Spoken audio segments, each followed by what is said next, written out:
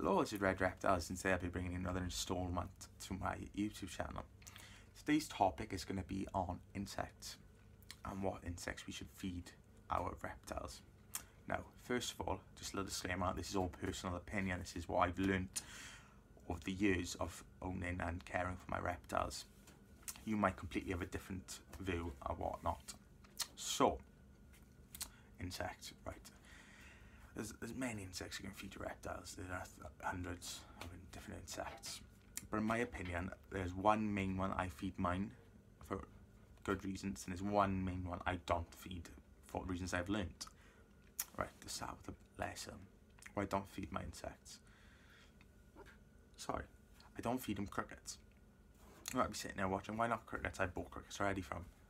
You know, don't feed them crickets because they're a pain. Um, by a pain, I mean as soon as you open that viv, uh, open the viv, or if you open up the the container for your food, the insects, open that out and it'll jump everywhere. I know they might do the crickets, they jump, but it's a pain in the butt, especially if you're new and you're not used to handling insects, trying to feed them or whatnot. You open it up, they jump in your house, jump in your living room, bedroom, kitchen, I don't know where you've got your reptile, and they'll jump everywhere and you'll lose them. They're fast flighting, they'll squeeze under something and that's a pain then because you have to either take everything out. I've done it. I have. I've had to do. have to take my whole stack of vivs out just to get behind it to get, access to these crickets because they do live long and they can't just eat the dust in the room. They eat the skin, the dead skin and whatnot. So nice thinking, but they'll eat anything. Me and that means they will live longer and they could breed and that's all you want then is a bunch of crickets. Have an anti panky into your wardrobes and then there's hundreds of them. And that's when it gets to you know, get exterminators in and whatnot. And that's you're not even getting into the Viv yet. Once you perm in the Viv, you have logs, so that say you've got a bearded dragon, you've got stuff for them to climb on because they like climbing. They can get under cracks or get up in the cracks of the logs, and from then on, it's a pain for the bearded dragon to get them. They, they physically can't get into these cracks under it, so they don't eat in. And you're thinking, oh, I put seven crickets in this morning. They'd be fine, man. Yeah, he's got grub poor thing can't get at them because they're all under dish bowls and water bowls and food bowls or whatever you feed them with. Or even what he climbs on. I can't get at them. So that's why we don't feed, I don't feed them crickets. Now, get on to what I do feed. I feed my animals and I've got, I've got four or five insects. I feed them hoppers, large, extra large grasshoppers.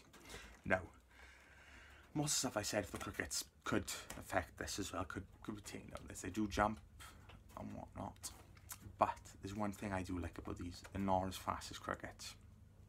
Okay, so if they jump out, you can easily just, don't panic, pick them up, grab them, chuck them in the Viv. And that's done then. Now, once they're in the Viv, I'm not going to say they're going to be climbing, not going to be climbing on the walls, because they will. They're not going to be able to get in the small cracks in the, in the rocks or in the wood or in the dish bowls. They just can't. So the only way you to think about it is if they're climbing up the walls and your um your animal can't reach them. Now, these like I say, a couple of pros to, to these is you can get them in different sizes, just like crickets, and it all varies how big your animal is out in the distance between his eyes. But I personally think these are the best to feed them because they're not so skittish. They don't jump everywhere and fly about like Spider-Man. Now, there's also a thing called um, cal you can buy calcium calcium worms and you can buy mealworms. Now, mealworms we're talking about. Mealworms are a treat. Like you go to McDonald's, you have Maccy D's, you don't have it every day, do you? Because you get fat and you'll get unhealthy. You have them a treat once a month, once a once a week maybe, pushing it, once a fortnight, whatever. But it's only a treat.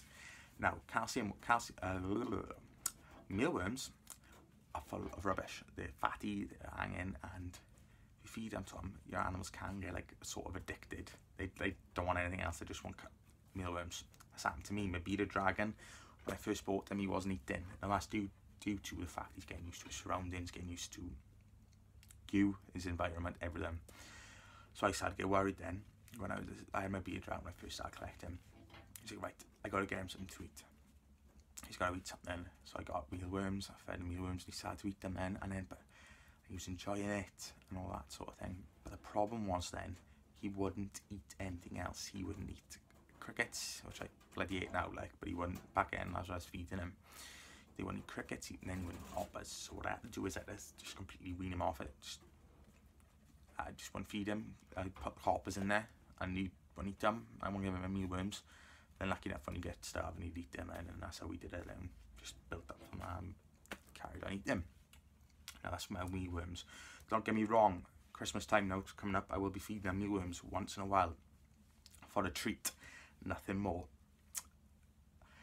There's also a thing called calcium worms. Now calcium worms are similar to mealworms. Calcium worms are sort of mealworms that get fed calcium powder. Now calcium powder, if you don't know, is very important with the nutrition with the reptiles. Everything you feed them coated with calcium powder, especially insects, your insect, dip them in, chuck it in the thing and watching eat it. Reason for, calcium helps the bones grow. Their bones grow, it helps a lot of other things in the body and it helps them just develop fine, not fine, develop alright. They don't have any growth problems or whatnot. Now, calcium worms, I've got calcium in the belly. Whoops, calcium worms got calcium in their belly. Now, calcium, so they go in their belly, so they're fed. It doesn't mean do not dip them in calcium because you still should. What else can I say about calcium worms? Covered calcium worms. Calcium powder, I use this Nutrobal, wherever it is, Nutrobal. I think it's calcium powder is calcium powder no matter where, in my opinion, no matter where you get it. As long as it's certified for animals and whatnot, it doesn't matter what brand you get. All I can say is this Nutrobal, oh, it bloody stinks, man. Don't have a weak stomach for using this. Anyway, so that's about it really. I'm sorry for this has been a bit me messed up. My, my other phone just dropped, which had the light on me because my room's dark as hell. very sorry. This is like the hundredth time I've tried videotaping this. Um, if, you, if you're interested, I could do other videos such as these sort of pots you can usually let uh, geckos, uh, crested geckos. You also got, um, what else have I got you? Crested uh, diet. I could do a different video on all those pellets of tortoises, green shrubs and greenery for tortoises. and a lot more videos if you're interested. Just leave a comment down below. So I think I'm done now. So I'd like to thank you for watching. It means a lot, you know, just new channel, one view, happy days. Um, if you enjoyed, please like down, like, click that like button. Um, comments, criticism, constructive criticism is welcome. Please comment down below. And if you're interested in more, please click that subscribe button. It won't bite you. Um, thanks for watching, guys. I hope you have a lovely evening and uh, Christmas is coming. All be good. Be nice. Ho, ho, ho. Ta-da.